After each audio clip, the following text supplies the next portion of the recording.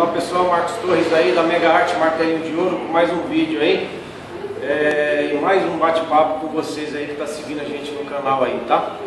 Pessoal, estou é, aqui com um aluno do Rio de Janeiro, Renato, Volta Redonda, né? Volta Redonda. Volta Redonda, gente. Então ele está fazendo um curso com a gente aí, é, intensivo, 47 horas direto aí pauleira, tá gente? Então, é, o segundo dia de aula dele, tá?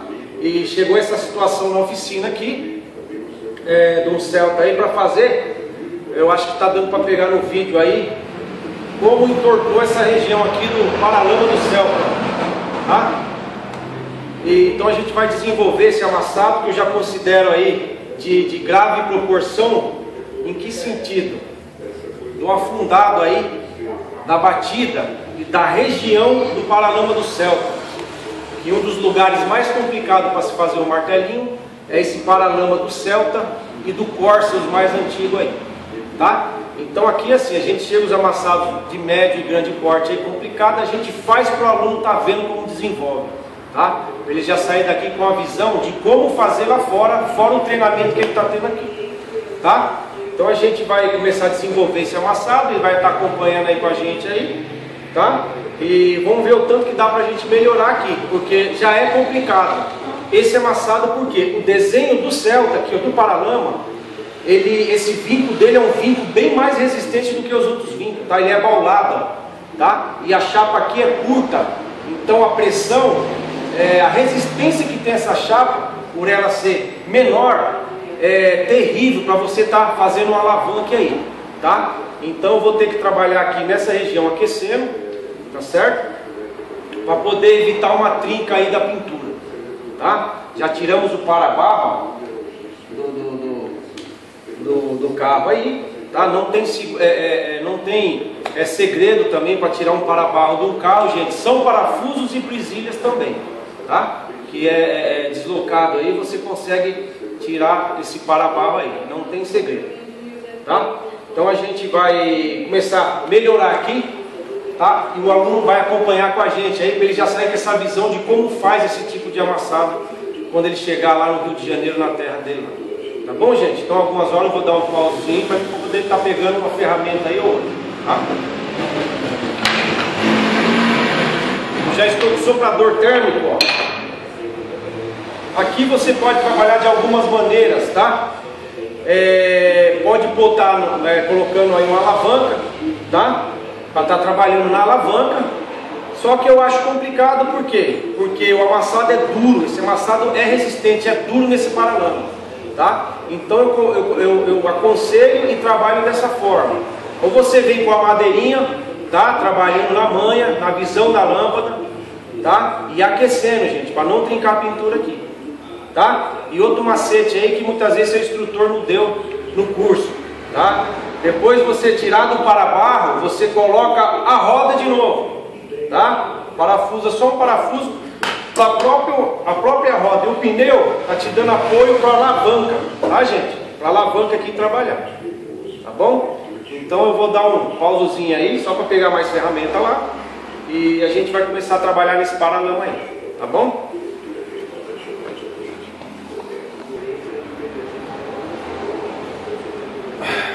Já voltamos aí, gente. É...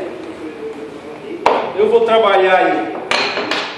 Não vou fazer com a madeira agora, tá? Vou trabalhar voltando aí, pelo tempo de experiência que a gente tem, voltando no macete, tá? O máximo que dá nesse amassado aí. Tá bom? Tá dando para olhar aí? Vou dar uma protegida aí, mesmo macete, tá, gente? De borracha, martelo de borracha. Que o nome certo é macete também, tá? O nome certo aí que eu conheço desde os 14 anos. A gente vem na, na área da metalúrgica aí, tá? Vou dar uma protegida, mesmo macete a gente protege aí. Tá? Vamos dar uma aquecidinha no local, ó. Tá? Não muito perto, tá certo? É, de longe aí, ó, tá? Questão aí de, de 15 é, centímetros longe da chapa, tá gente? Como é que eu sei que está bom para mim trabalhar? Hora que a sua mão que você está de apoio atrás, ó, ela não aguentar o calor do soprador térmico. tá? Hora que ela não aguentar o calor do soprador térmico, você para de aquecer aí, mas sempre de longe. Tá bom, gente? Sempre de longe, ó. Olha lá, já doeu minha mão, já queimou.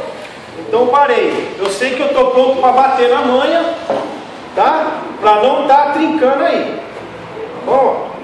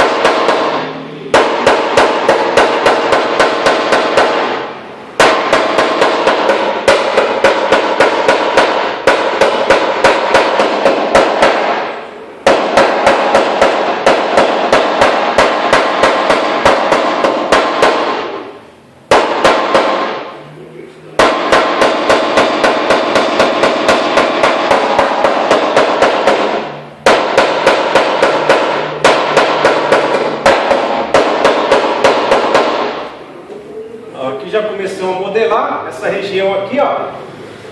De princípio, gente, você que está aprendendo aí, é, não aconselho você vir nesse sistema, tá? Por quê? Porque você já tem que estar tá com uma visão e um arraste apurado aí, tá bom? É, aconselho você colocar o pneu, vir com a ferramenta protegida, tá? E vir fazer os pontos onde você está de confiança, tá? Uma alavanca bacana, protegida na ponta aí, tá? É, não aconselho você vir por esse sistema aqui até você pegar uma certa visão, uma certa experiência da situação. Você está vendo que começou já a voltar aqui, Renato? Sim. Já? Tá? Então a gente vai puxar para cá agora. Eu estou conseguindo desenhar o vinco, gente, no macete, tá? Mas daí é, é, é, já é um pouco de, de tempo aí na área, tá? Vou desenhar o vinco no macete, tá certo? Para o vídeo também não ficar muito extenso, por isso que vou trabalhar dessa forma. Mas é só para você estar vendo que o aluno está acompanhando a gente aqui, tá? Como se faz um amassado complicado. Tá bom, gente? Isso é macete que a gente passa para o aluno, tá? Valorizar o aluno que vem até de fora e os que estão de perto também. Tá bom? Deixa eu aquecer mais um pouquinho. Tomara que esteja dando para ver aí, pelo menos essa reação da lata aqui, ó. Tá? Vamos aquecer mais um pouco. Tá? Sempre de longe, ó, fazendo movimentos aí circulares.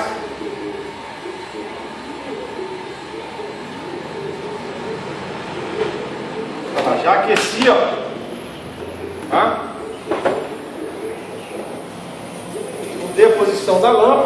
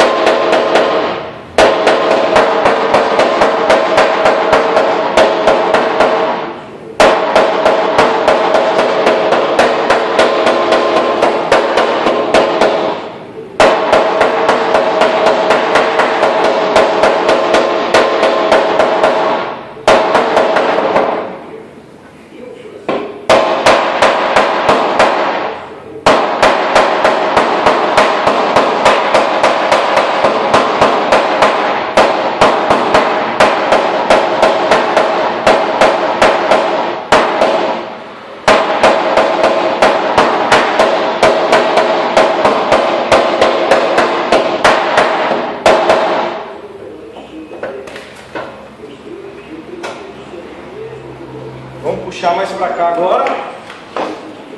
Tá? Vou aquecer esse último que está o pior, ó.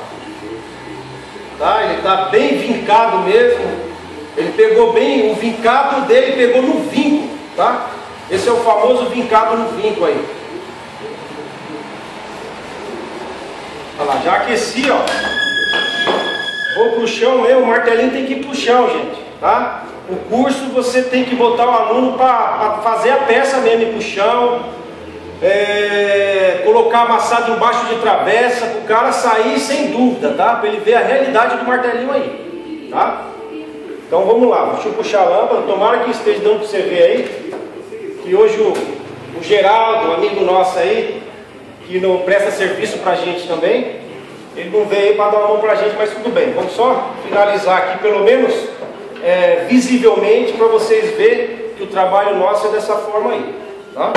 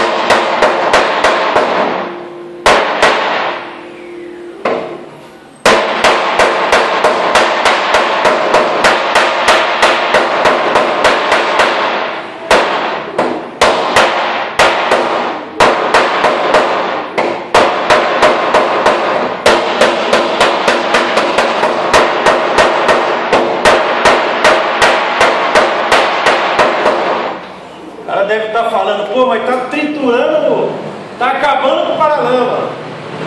Mas não é, gente, tem que saber trabalhar, tem que saber bater no lugar certo, tá? Na visão técnica certa, tá bom?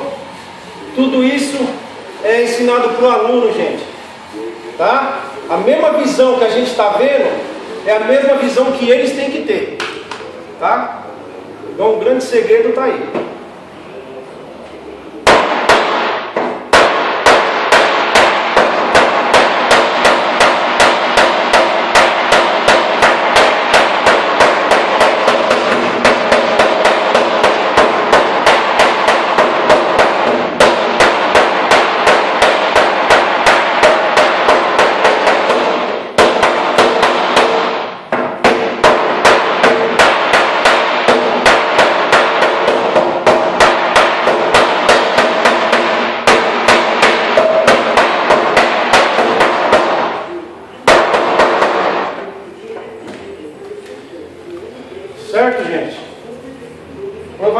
Já deu para ver no vídeo que eu já amenizei bastante essa situação aqui, ó. Tá, ó. Não está pronto, tá? É... Vou trabalhar aqui ainda mais ou menos uma hora e meia, tá? Para fazer bacana esse desenho. É mais para vocês terem uma visão de como a gente age aqui com os alunos na Mega Arte aqui, tá? Eu acho que já deu para ter uma visão que eu amenizei bastante essa situação Agora eu vou começar a fazer o acabamento final. Que a diferença minha e de você que é martelinho de ouro é o acabamento final. O meu tem que ser melhor que o seu. Tá? Então é isso que a gente ensina os alunos a ter o quê? A visão de acabamento final da situação. Tá bom, gente? Deu para ter uma visão aí, Renato? Tá? Dois dias de curso. E aí, tá valendo a pena ou não? Com certeza. Tá? Bom, gente, então Vou pegar a câmera agora aí e vou colocar aqui perto para vocês verem que não tem trincado pela forma que eu trabalhei. Tá? Vou pegar aí.